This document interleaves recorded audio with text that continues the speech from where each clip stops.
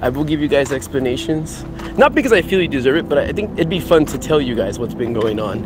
And um, not, not to say that you guys aren't deserving of knowing the truth or anything like that at all. It's just more of a, I just want to let you guys know. Why did Lui Calibre quit YouTube? It's the five word question that's been on the mind of each fan since he randomly disappeared in around 2016. And recently, the question has transcended a simple mystery and has been elevated into a borderline conspiracy theory, being magnified dramatically since the release of the Mini Ladd allegations. In October 2020, prison mate Luke would release a video titled The Truth Behind Lui Calibre, discussing a twit long released by one of Lui Calibre's ex girlfriends who had detailed a somewhat horrendous relationship she had with Lui when she was only 18 years old. Now, this video excellently outlines all of the allegations, and you should definitely watch it before this one to provide context. But I don't really think Lui got much of a fair trial in the YouTube courthouse for this one, and the argument being that Lui quit YouTube because of the allegations doesn't make a whole lot of sense to me, and I'll explain why in later parts of the video. In this video, I'm going to show you every clip with Lui Calibre himself explaining why he left YouTube from his perspective. Then we're going to compare that against the alternate theory, being that he left YouTube because of the risk of these allegations being released, with the overall goal being that you can draw your own conclusion from the evidence presented. This is the conspiracy behind the disappearance of Lui Calibre, fact versus fiction.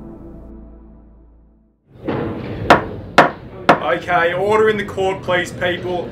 I am Judge Sunny V2. As previously mentioned, today we will be arguing as to why we think Lui Calibre has quit YouTube. Today we're joined by Sunny V3 who will be arguing for the side of Lui Calibre and Sunny V4 who will be arguing for the rest of the world. In order to get this case underway we must first ask our defendant himself Lui Calibre to explain why he quit YouTube. And since he no longer uploads to YouTube, we've got his defense guy, Sunny V3, who's found every single old clip of him explaining why he quit YouTube. Sunny V3, please take it away. Alright, thank you very much, Judge. Alright, argument one. Lui Calibre explains why he left YouTube. On the 24th of July 2016, Lui Calibre would host a stream for his 5.14 million subscribers with the title Late Night Pokemon Go with Lui Calibre, hunting Pokemon in Balboa Park at 3 in the morning. What's up, you guys? It's 3 in the morning at Balboa Park, chilling. After 26 minutes of streaming, Lui Calibre would say, This dude's driving real slow next to us.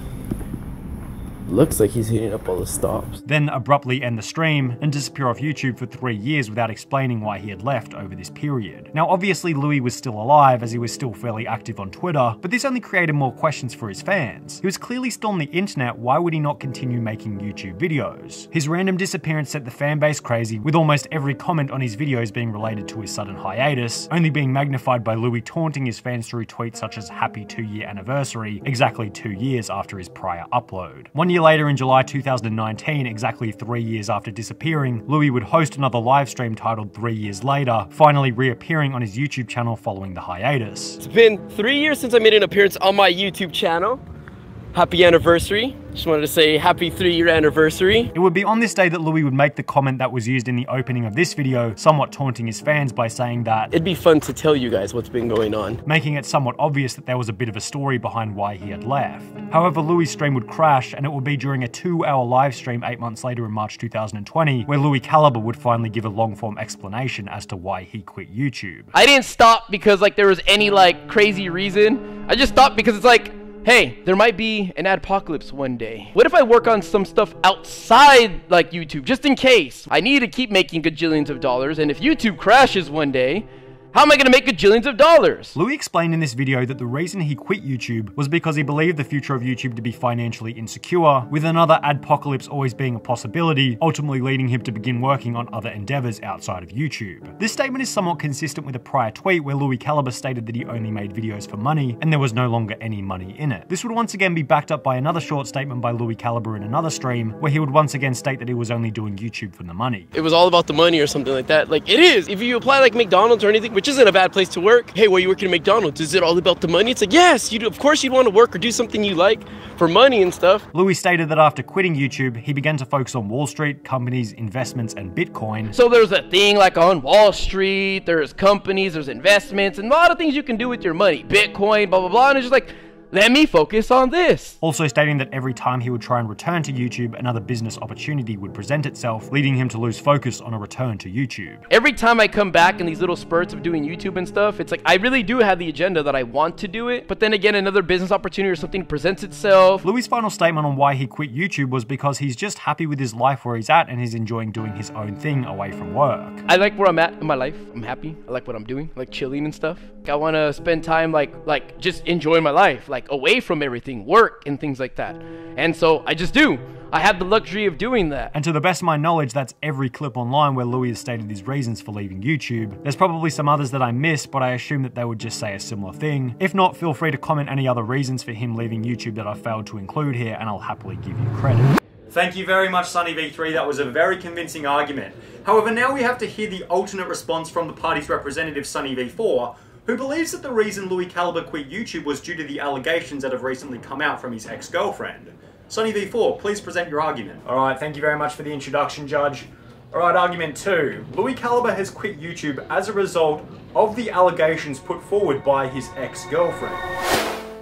On the 22nd of June 2020, one of Lui's ex-girlfriends would write a TwitLonger relating to her past toxic relationship with Lui and all of the horrendous things that would happen in this relationship. It was mentioned in the TwitLonger that Lui would begin dating her in 2018 when she was at the age of 18 when he was in his early 30s. Other notes within this TwitLonger would be that Lui would make her pay for everything despite him constantly bragging about how rich and famous he was. This would also be accompanied by the fact that Lui had a secret child with another girl, which he would make the TwitLonger girl look after while he sat around playing video games. No one really discussed these allegations on YouTube, most likely because Lui Calibre had already quit a long time ago, until prison mate Luke would upload his video titled The Truth Behind Lui Calibre, with the main argument being that Lui quit YouTube owing to these allegations coming out on Twitter. But despite being one of the bigger people in the group at the time, he just stopped uploading around four years ago. You might wonder why, and well, at first I thought it was just from a lack of drive. Well, it turns out Mini Ladd isn't the only person with baggage in the group. Following this video, many of the comments on Lui's videos have been requesting others to go and look at Luke's video, stating that they now know the reason why Lui hasn't been uploading. Since this video, it seems like the general consensus with the fans of Lui Calibre have been that Lui isn't uploading because of these allegations. Thank you, Sunny V4, for that excellent representation of the opposing argument that Lui Calibre has quit YouTube as a result of these allegations coming out. Now that we've heard both sides of the argument, I'd like to go back to Sunny V4 for him to explain why he thinks that Lui has quit YouTube because of these allegations. Sunny V4, go ahead and argue your side. Thank you very much once again, Judge. This is my argument for why I think Lui Calibre has quit YouTube due to these allegations. Let's get into it. To begin, I think probably the best piece of evidence for Lui disappearing from social media due to these allegations is probably the dates in which he previously posted any content. Lui's last post on Twitter was on the 30th of May 2020, approximately three weeks before these allegations would be released, with him going completely silent for the last seven months. Prior to this, Lui was tweeting fairly regularly, so it would raise some questions as to why he would just randomly stop following the allegations. On top of this, Lui's previous YouTube upload was in March 2020, which was only a few months prior to the allegations being released. The second piece of evidence that smells a bit fishy is Lui's reasoning for why he left YouTube, which was summed up very well in Prison Mate Luke's video. Which I don't know how there wasn't money for him when when he uploads he gets a bare minimum of half a million views. And he was consistent with it and I doubt he really got demonetized enough to really affect him. And this is a good point. His videos wouldn't be getting demonetized, he was getting a load of views, why was there no money in YouTube for him? It's a sus reason to say that there's no money in it when he would be making bucket loads. Plus, his resignation from YouTube back in 2016 was before the adpocalypse even happened. It was also mentioned that he had quit YouTube because he had gotten into other business practices, but has never mentioned what he got himself into. And every time people ask him about his business practices outside of YouTube, he seemingly gets angry, such as this tweet on the 25th of June 2018. Now, this is somewhat bizarre because if you're running a business, wouldn't it be in your best interest to give your business as much exposure as humanly possible? People such as Filthy Frank, who later became Joji, built so much of their brand on the fact that they were previously a YouTuber and they already had a mass audience. I don't really see the motivation behind trying to keep your business practice behind closed doors. Another point is that it's kind of contradictory to constantly brag about how rich you are, then go ahead and say that YouTube doesn't pay well enough for you to continue making videos. Clearly, the reality is that Lui is pretty well off today, so saying that you've quit because it's not paying enough is kind of bizarre. The final and probably obvious point is that these allegations are clearly going to damage Lui's reputation, which gives him incentive to quit YouTube. Now, was Lui toxic to some extent in these relationships? I mean, we could almost guarantee it. There's multiple accounts of Lui being toxic within relationships with many different girls, but we also have to question how true these allegations are, which will be discussed in the next section the argument for Lui not being guilty. Thank you very much, Sunny V4. Some very good arguments being put forward there based on the allegations. But of course, we have to hear the argument from the opposing side, who believes that Lui has not quit YouTube based on these allegations and is actually telling the truth in his initial story. Okay, thank you very much, Judge. Appreciate it. This is my reasoning for why I believe that Lui Calibre hasn't quit YouTube because of these allegations, but instead has quit YouTube for the original reasons. The first argument for Lui not quitting YouTube over these allegations is the overall timeline when you have a good think about it. Lui quit YouTube for the first time back in July 2016, and his relationship wouldn't even begin with the girl trying to cancel him until 2018. How can you even make the argument that him originally leaving YouTube in 2016 was because of a relationship that he wouldn't even begin for another two years? On top of this, cancel culture didn't even exist in 2016, or maybe it was in its very early stages. Even if he had done something worth a cancellation back in 2016, it wouldn't have been a reason to quit YouTube because it just wasn't a common thing to do. Now, not uploading since June 2020 because of the allegations is a reasonable argument, but considering he had already quit YouTube for over four years before the allegations were released, it's a pretty difficult statement to prove. I think the best way to put it would be that it's possible that the reason he hasn't uploaded in the last seven months was because of the allegations, but it's impossible to prove because he only uploads once every seven months or so anyway. Also, to state that he originally quit YouTube because of these allegations is a total non-starter starter, as he wouldn't even get into the relationship until two years after he quit uploading to the platform. The next argument I want to make in favour of Lui's situation is to do with the money. When he said there's no money in it, he probably meant there's not as much money in it compared to other business ventures, which is also extremely true. There's always that next level of thing that will earn you more money than what you're doing now, and if he found himself in that position, then yeah, from his perspective, YouTube wouldn't feel like a good financial decision for him. Another very interesting thing worth mentioning is that his last video was in July 2016, and the adpocalypse happened happened in August 2016, only one month later.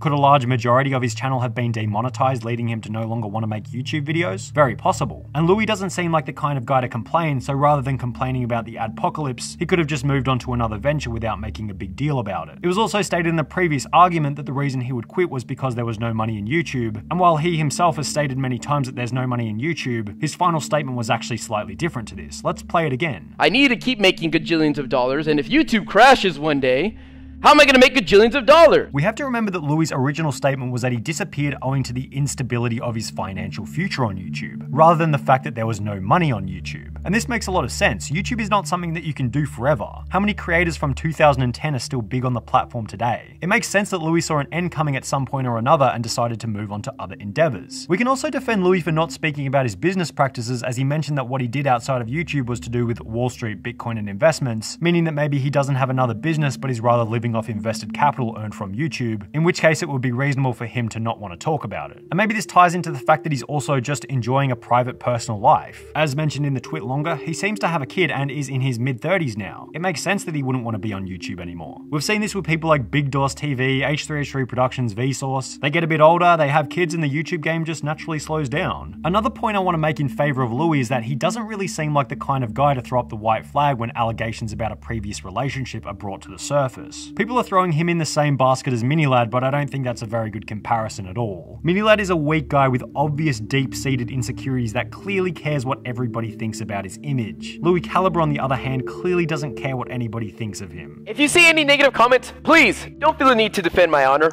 F me. It's totally cool. Let people talk shit about me. I really don't give a f. I'm a big boy. I got this. He quit YouTube, tells everyone that the reason he did it was because of money, and makes videos on his Twitter roasting fans whenever they get offended. What the f was so offensive about that? Or out of out of poor taste? Dumbass idiot. I don't think he'd go into hiding in order to avoid being seen by the masses. And this brings us to the final point where I'm going to say that what Lui being cancelled for probably isn't as severe as it's made out to be. We have to remember two things. Firstly, the person trying to cancel him is a Twitch streamer who's trying to gain as much exposure as possible, so it's in her best interest to make the allegations seem as severe as possible. And this is fair enough. You can't blame her for it. If something happened to me or you, we'd want to make it seem as bad as possible because it's going to give us the most exposure. The second thing is that what seems normal in a relationship at the time suddenly becomes a lot worse in retrospect after a breakup. For example, in the TwitLonger, he would always tell me stories about other girls he's been with. Might at some point have just been a simple discussion about past relationships. He would always complain about how his ex was a bad mum. Might have just been various comments regarding who had the baby at what time. Now obviously this is a fairly loose point. Everything stated in the TwitLonger might have been 100% accurate, but it's important to remember that it's in the writer's interest to make it sound as horrendous as possible, and what seemed okay in a relationship often gets distorted following a breakup.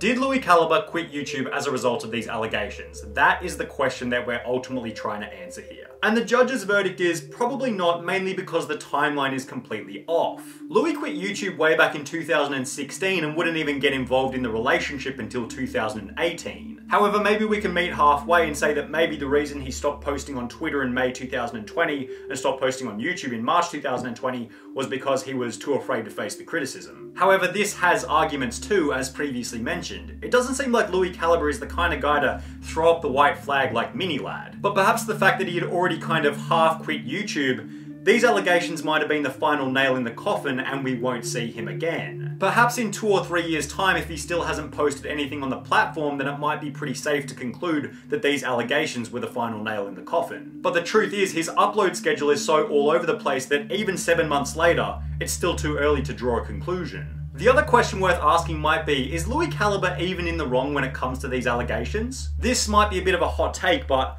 I don't think Lui done anything wrong here because I think in every relationship, both parties are liable for the outcome of that relationship. Was Lui Calibre the perpetrator with all the toxicity while the girl writing the TwitLonger was just the poor innocent victim? I don't really buy it, not really for a second. There are so many things within her TwitLonger that seem like even bigger red flags than what Lui did himself. How can you say it's unreasonable for him to be uncomfortable and controlling when it comes to you texting other guys, when the eventual outcome would be you cheating on him with one of those other guys you were texting? Sounds like Lui had a sneaking suspicion that you were up to something and was taking precautionary measures, which I don't really see anything wrong with. On top of this, if it's your genuine philosophy that a man who is over 30 should not be trying to have relationships with girls who have just turned turned 18, why did you get into that relationship in the first place? If you were so angry at having to pay for every flight to go and see him, why did you book the flights in the first place? You're in a different city, so what was he even gonna do if you didn't book the flights? Then to put a bit of a cherry on top of the cake, you tried to end his whole career in exchange for some Twitter clout. You finished the TwitLonger by saying that you realized that you were the victim. However, it seems like most of these things that you are complaining about were things that you entered into voluntarily. You're not the victim, but you're also not the perpetrator.